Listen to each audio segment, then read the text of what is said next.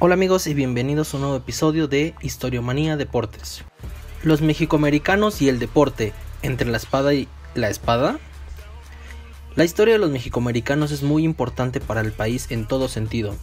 Ha sido una larga lucha por el reconocimiento en los dos lados de la frontera, perseguidos, deportados y hasta asesinados en Estados Unidos, desprestigiados, despreciados y rechazados en México. En el deporte pasa lo mismo al menos en México. Si un atleta mexicoamericano representa algún equipo de Estados Unidos, pierde toda posibilidad de admiración en el país, y si representa a México, es víctima de críticas por ser el gringo que no debería competir para esta nación, porque le quita lugares a los mexicanos. Esa es su historia y eso es lo que vimos recientemente con el equipo femenil de softball para Tokio 2020. La inmensa mayoría de las atletas nació en Estados Unidos, lo que suscitó una serie de polémicas en México. Sin embargo, todas eran legalmente mexicanas y consiguieron el lugar más alto en el softball mexicano, el cuarto lugar olímpico. Antes de hacer un repaso de los deportistas mexicoamericanos más destacados en la historia, veamos la situación histórica de los mexicoamericanos. Recordemos que es un proceso que comenzó desde mediados del siglo XIX, principalmente tras la guerra entre Estados Unidos y México, el Tratado de Guadalupe Hidalgo prácticamente dio origen a la idea del México-americano.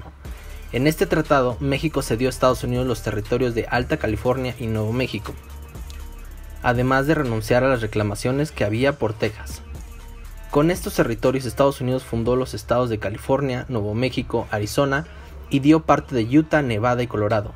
De esta manera, por decreto o por tratado, muchos mexicanos quedaron atrapados en el territorio norteamericano, y contrario a lo que nos dice la historia oficial estadounidense, hubo disidencias, es decir, muchos mexicanos que no querían pertenecer a Estados Unidos, pero fueron obligados a ello.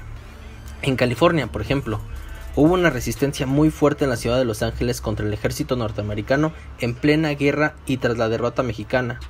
En ese estado crearon un personaje ficticio llamado El Patrio, que protegía a los mexicanos que habían quedado en el territorio estadounidense de las arbitrariedades cometidas contra ellos. Cabe señalar que después de ese personaje dio origen al zorro, y su historia e imagen fueron modificadas para el gusto norteamericano. En México, los hermanos Herrera y sus boinas blancas también tuvieron un movimiento de resistencia muy fuerte para proteger a, a los mexicoamericanos, pero lamentablemente para ellos no tuvieron éxito. A veces la historia tiene detalles muy curiosos y para los mexicoamericanos el Tratado Guadalupe Hidalgo es su mejor carta legal, Ahí se estipula en los artículos octavo y noveno que el gobierno de Estados Unidos se compromete a respetar las propiedades y derechos civiles de los mexicanos que quedaron de su lado de la frontera, compromiso que no se cumplió cabalmente, pero que estipulaba en un tratado internacional. Así nacieron los mexicoamericanos, que eran los nuevos ciudadanos norteamericanos y que por supuesto fueron saqueados de sus propiedades. Pasaron los años y al llegar el siglo XX comenzó el proceso de migración de mexicanos hacia Estados Unidos. Se han marcado varias etapas de este proceso. La primera fue de 1900 a 1929, cuando aproximadamente 730.000 mexicanos fueron a Estados Unidos, principalmente al sector agrícola y ferroviario, en el estado de Texas. La segunda etapa de 1930 a 1941 fue marcada por la crisis económica de 1929, lo que trajo como consecuencia una deportación masiva, la tercera etapa fue decisiva, de los años 1942 a 1964, y se reportaron aproximadamente 5 millones de mexicanos migrando hacia Estados Unidos. Esta etapa fue la de la Segunda Guerra Mundial. Muchos mexicanos se enrolaron en el ejército estadounidense para ganar la ciudadanía. Se estipula que aproximadamente 15.000 de ellos murieron en la guerra. Otros mexicanos encontraron una oportunidad en el programa de braseo, que por primera vez y única ocasión en la historia la migración hacia Estados Unidos era legal y de manera temporal. Muchos mexicanos encontraron oportunidad en toda la Unión Americana, pero el estado que más recibió fue California. La historia se abre en distintos caminos.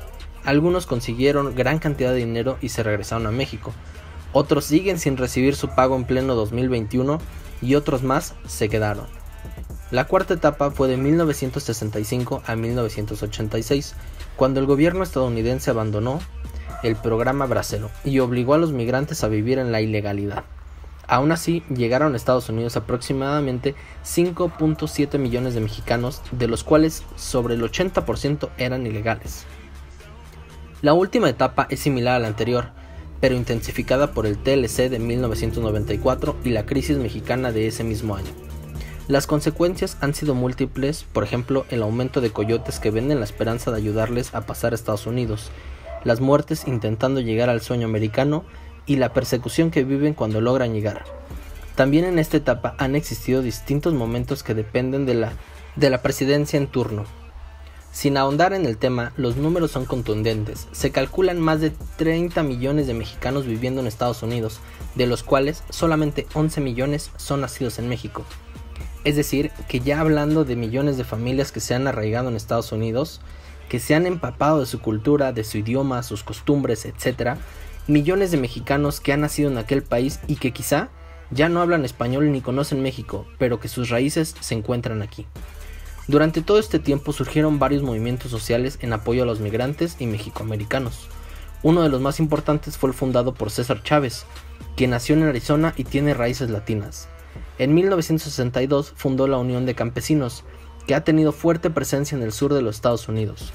Otros grupos de mexicoamericanos se unieron al Partido de las Panteras Negras, especialmente en California. Muchos no han pertenecido a ninguna asociación u organización, pero han logrado insertarse en la sociedad norteamericana y ya encontramos mexicoamericanos en diversos ámbitos como en la política, industria, comercio y deporte. Justo de ellos es esta historia de los mexicanos nacidos en Estados Unidos que han representado a México en distintas disciplinas deportivas. Han sido muchos atletas que han pasado por esta situación, sobre todo recientemente. Mencionaremos los más claros emblemáticos, aunque sabemos que sea muy probable que nos falten varios casos. Quizá uno de los atletas mexicoamericanos más renombrados es el boxeador Oscar de la Hoya. Es sin duda uno de los mejores boxeadores en la historia en cuanto a victorias en distintos pesos y peleas legendarias contra grandes boxeadores de la historia, y además hoy en día es un empresario multimillonario del boxeo. Oscar de la Hoya tiene padres mexicanos, pero nació en Los Ángeles, California, en 1973. Es decir, ya es de la cuarta etapa de migración. La polémica con De la Hoya viene desde los Juegos Olímpicos de Barcelona 92, donde fue medallista de oro compitiendo para Estados Unidos. Muchos mexicanos se decepcionaron porque representara a su país natal y no al de origen. Este gran boxeador intentó reconciliarse con México en distintas ocasiones, y en cada pelea salía al ring con las dos banderas, la de Estados Unidos y la de México. Sin embargo, tuvo un nuevo conflicto con el país cuando derrotó en dos ocasiones al campeón e ídolo mexicano Julio César Chávez. Inclusive, la primera victoria fue emblemática al salir el pugilista mexicano con la cara llena de sangre. Al final, De la Hoya sí logró ganar el cariño y admiración de gran parte del público mexicano, y ya como empresario de boxeo, ha protegido a varios atletas nacidos en México. En el básquetbol tenemos el caso de Juan Toscano. Este atleta nació en Oakland, California, de padre boricua y madre mexicana, en el año de 1993, ya durante la cuarta etapa de migración. Sus primeros años como profesional los realizó en la Liga Nacional Mexicana y recientemente consiguió un lugar en los Warriors de Golden State, equipo que representa a las ciudades de San Francisco y su natal Oakland. Tuvo un extraordinario desempeño y se espera se mantenga jugando en la NBA por muchos años. Juan Toscano decidió representar a México y fue parte de la histórica selección mexicana que logró calificarse a los Juegos Olímpicos del 2016. Con él existe cierta polémica con él porque abandonó el campamento de la selección mexicana previo al preolímpico para los Juegos Olímpicos de Tokio 2020. Versiones encontradas al respecto por lo que no emitiremos ningún juicio al respecto. En la NFL han jugado o juegan actualmente buen número de mexicanos. De los más famosos en los últimos años son el quarterback de los Vaqueros de Dallas, Tony Romo, nacido en San Diego, California y de padres coahuilenses. El también quarterback Mark Sánchez nació en Long Beach, California, nieto de mexicanos y que su historia tuvo gran impacto al inicio de su carrera al ser campeón colegial y siendo protagonista de una sorprendente historia de superación personal. Desgraciadamente para él, su carrera en la NFL no tuvo el éxito ni la continuidad que hubiera deseado. Otros mexicoamericanos en la NFL que no han sido tan famosos pero que han llegado al Super Bowl y algunos hasta lo han ganado son Manny Ramírez, Luis Vázquez y Max García, todos jugadores de los Broncos de Denver nacidos en Estados Unidos y de padres mexicanos. Ellos son la muestra que cada vez más serán más común verlos jugar en esta liga y a gran nivel. Otro caso destacado fue el quarterback de los 49ers de San Francisco, Jeff García, cuyos abuelos son de San Juan de los Lagos, Jalisco, nativo de California. Una mezcla de mexicanos e irlandeses. Este explosivo jugador jugó varios años con un buen nivel y en esta exigente liga. Sin embargo, los mexicanos con mayor impacto en la liga fueron jugadores del pasado, Anthony Muñoz y Tom Flores. Comencemos con Anthony Muñoz. Nacido en Encore, California, y padres coahuilenses, jugador de los Bengalíes de Cincinnati, fue uno de los linieros ofensivos más dominantes en la historia de la NFL.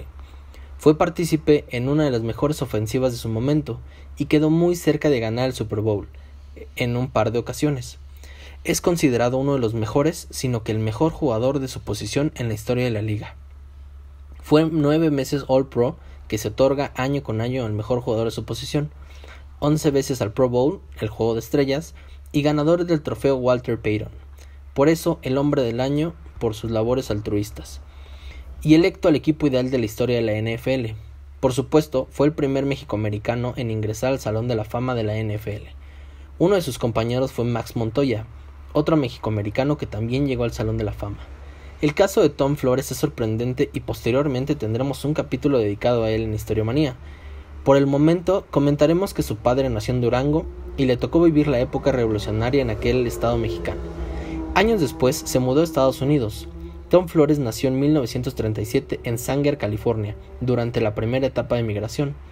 En 1960 se convirtió en el primer quarterback mexicoamericano en la historia de la NFL y a su vez el primer quarterback en la historia de los Raiders de Oakland. Tuvo varios récords, pero su labor más importante fue como head coach, también de los Raiders, tanto en Oakland como en una de las ciudades de Los Ángeles. Tom Flores fue el primer head coach latino en la historia de la liga y también el primero en ganar un Super Bowl. Esto en 1980 con los Raiders de Oakland contra las Águilas de Filadelfia y repitió la hazaña en 1983 cuando los Raiders de Los Ángeles derrotaron a los Washington Redskins. Con eso se convirtió en el primero en ganar un Super Bowl como jugador con Kansas City en 1969, como asistente en los Raiders en 1976 y como head coach en los años ya mencionados. Tom Flores continuó su carrera en la organización de los Raiders y tras varios intentos fue electo al Salón de la Fama en el 2021. Para muchos fue muy injusto que tardaran tanto en darle honor. Por último, en lo que respecta a la NFL, el quarterback que logró ganar dos Super Bowls con Tom Flores también es de ascendencia latina. Se trata de Jim Plunkett, nacido en San José, California en 1947, es decir, durante la etapa de la migración legal a Estados Unidos. Plunkett es nieto de mexicanos, aunque su apellido es irlandés. Su historia es un ejemplo de la superación personal en la montaña rusa de la vida. Su padre y su madre padecían ceguera y le enseñaron a salir adelante ante cualquier adversidad. Jim ganó el premio al mejor jugador colegial, el Heisman, y fue la primera selección de los Patriotas de Nueva Inglaterra. Fracasó. Intentó retomar su carrera con los 49ers de San Francisco, pero otro fracaso. Finalmente, llegó a los Raiders de Oakland como suplente de Dan Pastorini y ante la lesión del titular, Plunkett tomó el cargo y llevó a los Raiders hasta el campeonato, dos veces. De hecho, es el único quarterback en la historia de la NFL en tener dos anillos de Super Bowl y no estar en el Salón de la Fama. Algunos dicen que es por su herencia latina. En el béisbol también tenemos casos importantes de mexicoamericanos. Uno de ellos es actualmente uno de los mejores jugadores de la MLB, Alex Verdugo de los Medias Rojas de Boston. Verdugo nació en Arizona en 1996 de padres mexicanos, ya de última etapa de migración a Estados Unidos. Antes de Boston fue un jugador sobresaliente de los Dodgers de Los Ángeles, pero al ser cambiado a los Medias Rojas su carrera explotó. Considerado un jugador brillante a la defensiva, con Boston también ha demostrado distintas cualidades de juego hoy y es titular indiscutible en uno de los mejores equipos de las ligas mayores. Verdugo es integrante de la selección mexicana donde ha tenido buenas participaciones. Es un jugador con gran temperamento y ante conflictos con fanáticos siempre ha sabido demostrar en el diamante su valía como jugador. Uno de los mejores mexicoamericanos de la historia es Jorge Cantú. Nacido en McAllen, Texas, en 1982, es hijo de mexicanos y su carrera como beisbolista comenzó a desarrollarse en los ex Tigres de México, desde torneos juveniles ha representado a México y su nivel lo llevó muy joven a firmar con equipos de la MLB, pero su mejor época fue con los Rangers de Texas, los Tampa Bay Rays y los Marlins de Florida. Aún así, el mejor recuerdo que nos dejó fue su participación con la selección mexicana en los clásicos mundiales de béisbol de 2005 y el 2009. En ambos fue pieza clave para que México derrotara y eliminara a la selección de Estados Unidos. y Cantú maravilló al país con su extraordinario bateo. Actualmente, este jugador participa con los Diablos Rojos de México en la Liga Mexicana de Béisbol. Un compañero de Jorge Cantú en esa selección mexicana fue Adrián González, el Titán. Es considerado uno de los mejores jugadores mexicanos de la historia por su poder al bateo y su gran defensiva en la primera base. Jugó estelarmente para los Padres de San Diego, donde sin lugar a dudas fue el mejor jugador del equipo, los Medias Rojas de Boston y los Dodgers de Los Ángeles. Fue uno de los estelares de este último equipo y los ayudó a ganar en varias ocasiones la División Oeste de la Liga Nacional. Siempre participó con la selección mexicana y junto a Jorge Cantú fue un referente de la selección del 2005 y 2009, ganándose el cariño de la afición mexicana. Adrián González es considerado mexicoamericano por circunstancias. Él nació en la ciudad de San Diego, California en 1982, hijo de padres y madres mexicanos. Sin embargo, toda su infancia la vivió en Tijuana, y hasta más grande se mudó a Estados Unidos por su carrera como beisbolista. Es decir, aunque nació en San Diego, creció y se desarrolló de este lado de la frontera. En el último caso que veremos es uno de los más significativos en esta historia. Sergio Romo, nacido en Brawley, California, nieto de mexicanos, su abuelo migró en los años 60 a Estados Unidos de Los Altos, Jalisco, intentando convertirse en jugador profesional de béisbol. Sergio Romo vivió su infancia entre Estados Unidos y México, y consiguió un lugar en una universidad del norte de Alabama. Ahí comenzó su historia de discriminación por su origen y color de piel, porque constantemente desde la tribuna le gritaban Lárgate pocho. En su último año estaba a un ponche de romper el récord histórico de la universidad, cuando el manager del equipo decidió sacarlo del juego diciéndole Ningún mexicano va a romper el récord en mi equipo porque no lo merece. La reacción de Romo fue de enojo, y por poco se agarra a golpes con su manager. Desde ahí, Sergio Romo aprendió a convivir con la adversidad y la discriminación. Como profesional, llegó a los Gigantes de San Francisco donde tuvo sus mayores éxitos. Con ese equipo fue campeón de la Serie Mundial de la MLB en tres ocasiones, 2010, 2012 y 2014. En el 2012 lo hizo como relevista preparador, teniendo una destacada actuación, pero su consagración fue en el 2014 cuando lo hizo ya como el cerrador del equipo. Era tan eficaz que cuando entraba a pichar, la afición de San Francisco sabía que ya tenían un triunfo asegurado, y la imagen de Romo ponchando al estelar Miguel Cabrera de los Tigres de Detroit para convertirse en campeones quedará siempre en su memoria. Sergio Romo decidió participar en el Clásico Mundial con la selección mexicana, el país que siempre ha considerado suyo. Sorpresivamente, esto trajo algunas críticas de mexicanos que no simpatizaban con la idea de que un pelotero nacido en Estados Unidos representara al país, Romo en distintas ocasiones ha jugado para México tanto en selección como en equipos de la Liga Mexicana del Pacífico y la Serie del Caribe. Además, cuando entra al campo, pide al sonido local que ponga el menchón. Para recordarles a todos sus orígenes, esto se ha convertido en todo un emblema para él. Actualmente juega para los Atléticos de Oakland. Continúa con gran nivel y es uno de los favoritos de la afición. Inclusive, cada que entra al campo, el estadio entero se pone a bailar al ritmo de la música de la banda mexicana. Aunque sea criticado y hasta rechazado por algunas personas en ambos países, Sergio Romo es uno de los mejores relevistas en los últimos años en la MLB, y sin duda uno de los mejores beisbolistas mexicanos en la historia. Esta es un poco de la historia de estos atletas que han triunfado en el deporte mundial y que han tenido que luchar por el reconocimiento tanto de los Estados Unidos como de México. No olvides dejarnos tus comentarios, compartir y nos vemos en el próximo episodio.